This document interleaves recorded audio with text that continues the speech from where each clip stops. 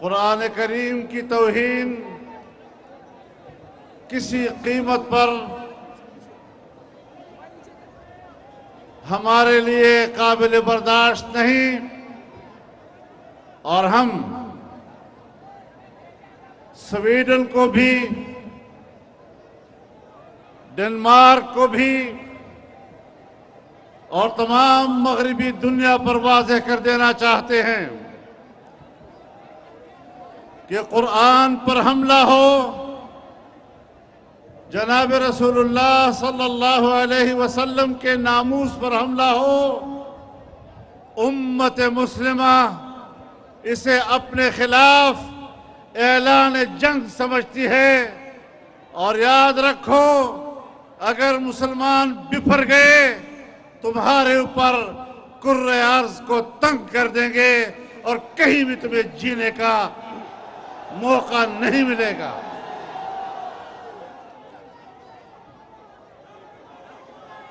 میرے محترم دوستو، یہ تو مسلمان ہیں۔ جو وسیع نظر ہیں۔ اگر ہم حضرت محمد صلی اللہ علیہ وسلم کی نبوت اور رسالت پر ایمان رکھتے ہیں تو ہم حضرت عیسیٰ کو بھی اللہ کا سچا پیغمبر سمجھتے ہیں۔ اگر ہم قرآن کریم پر ایمان رکھتے ہیں، تو ہم انجیل کو بھی اللہ کی کتاب سمجھتے ہیں۔ اگر ہم قرآن کو اللہ کی کتاب کہتے ہیں، تو تورات کو بھی اللہ کی کتاب کہتے ہیں۔ اگر ہم حضرت محمد صلی اللہ علیہ وسلم کو اپنا پیغمبر سمجھتے ہیں، تو حضرت موسیٰ علیہ السلام کو بھی اپنا پیغمبر سمجھتے ہیں۔ آسمانی کتابوں کی عزت و احترام کرتے ہیں، لیکن وہ تم ہو، وہ تم ہو کہ تم نے انجیل کا حلیہ بگاڑ دیا ہے۔ وہ تم ہو جنہوں نے تورات کا حلیہ بگاڑ دیا ہے۔ تم اپنی کتابوں کی حفاظت نہیں کر سکے۔ تم نے اس پہ تحریف کر دی ہے، لیکن مسلمان قرآن کی حفاظت جانتا ہے، ایک ایک حرف کی حفاظت جانتا ہے۔ اور آج بھی قرآن ہی ایک آسمانی کتاب ہے کہ جو اول تا آخر زبر زیر بھی اس کا محفوظ ہے۔ اور انشاءاللہ مسلمان اپنے خون کا نظرانہ دے کر اپنے قرآن کی حفاظت کریں گے۔ انشاءاللہ انشاءاللہ۔ میں امریکہ کو بھی بتانا چاہتا ہوں میں پورے یورپ کو بتانا چاہتا ہوں کہ تم نے گزشتہ دو دہائیوں سے زیادہ اسلام کو ختم کرنے اسلام کے اداروں کو ختم کرنے کے جو منصوبے بنائے تھے اور نام نہاد دہشت گردی کا نعرہ لگا کر تم نے جو اشتعال پیدا کیا مسلمانوں کے خلاف، مدارس کے خلاف، مساجد کے خلاف، اور جس طرح تم نے دنیا سے اسلام کا نام و نشان مٹانے کی ٹھانی تھی، یہ جو تم قرآن جلا رہے ہو، یہ تمہارا وہ اشتعال ہے، وہ تنگ نظری ہے تمہارے چہرے سے لبرلزم کا نقاب اٹھ چکا ہے۔ تم تنگ نظر ہو۔ تم اسلام کو برداشت نہیں کر سکتے۔ تم مسلمان کو برداشت نہیں کر سکتے۔ لیکن اسلام بھی رہے گا۔ مسلمان بھی رہے گا۔ قرآن بھی رہے گا۔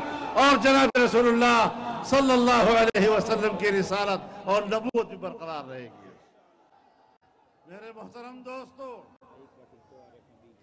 میں عالم اسلام سے، تمام اسلامی دنیا کے حکمرانوں سے، بشمول اپنے پاکستان کی ریاست سے یہ مطالبہ کرتا ہوں اور آپ کی تائید کے ساتھ کرتا ہوں۔ انشاءاللہ یہ اجتماع پورے امت مسلمہ کا ترجمان ہے۔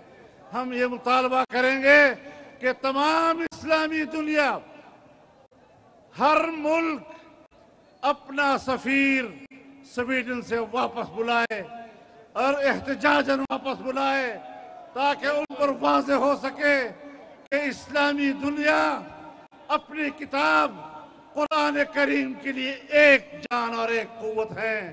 اپنے پیغمبر کے ناموس کے لیے ایک جان اور ایک قوت ہے۔ ہمیں مل کر فیصلہ ہو کرنا ہوگا اور انشاءاللہ العزیز امت مسلمہ کی پوری تنظیم او آئی سی وہ اس کا، اس بات کا اعلان کرے اور انشاءاللہ کرے گی۔ اگر ہم زندہ رہے، ہم میدان میں رہے، ان ان کو یہ فیصلہ کرنا پڑے گا۔ قرآن کا حق ہے ہمارے اوپر، رسول اللہ کا حق ہے ہمارے اوپر۔ ہم اس ایک اجتماع سے شاید وہ حق ادا نہ کر سکے لیکن ہم نے آگے بڑھنا ہے اور پوری دنیا کو اس طرف آگے بڑھنے سے روکنا ہے۔ ہمارے بھی کچھ ریڈ لائنز ہوتی ہیں، سرخ لکیر ہوتی ہے۔ تم نے سرخ لکیر کو کراس کیا ہے۔ ہم مزید آپ کی اس قسم کی حرکات کو برداشت نہیں کر سکیں گے۔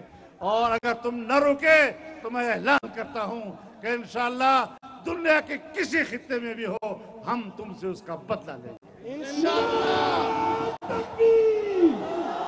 لبیک لبیک جھنڈے جھلا کے لبیک لبیک لبیک لبیک جھنڈے جھوماؤ جھنڈے جھوماؤ جھنڈے جھوما کے لبیک لبیک اللہم لبیک مرداباد مرداباد سویڈن سویڈن سویڈن سویڈن مرداباد مرداباد مرداباد مرداباد میں یہ بھی آپ کو بتا دینا چاہتا ہوں اور ہم مل کر یہ مطالبہ اٹھائیں کہ اگر اسلامی دنیا نے اپنے سفیر نہ بلائے تو یہ احتجاج ہر جمعے کے روز پورے ملک میں ہوتا رہے گا، چلتا رہے گا اور مسلمانوں کی آواز دبنے نہیں دی جائے گی، یہ انشاءاللہ گونجتی رہے گی اور ہم اپنا مطالبہ منوا کر رہیں گے۔ انشاءاللہ العزیز، آپ نے بارش میں بھی بڑی استقامت کا مظاہرہ کیا۔ میں آپ کو اس کامیاب اجتماع پر مبارکباد بھی پیش کرتا ہوں۔ بڑے اجرت سے ایک دن کے نوٹس پر آپ کو بلایا اور آپ اتنی بڑی تعداد میں شریک ہوئے یہ سلسلہ جاری رہے گا انشاءاللہ۔ بھرپور طور پر جاری رہے گا انشاءاللہ۔ اور اپنا دباؤ بڑھاتے رہیں۔ انشاءاللہ ان کو ہم پر نہیں مانے دیں گے۔ اسرائیل کے اور سویڈن کے جھنڈے اور پتلا اسرائیل کا ابھی نظر آتش کیا جائے گا۔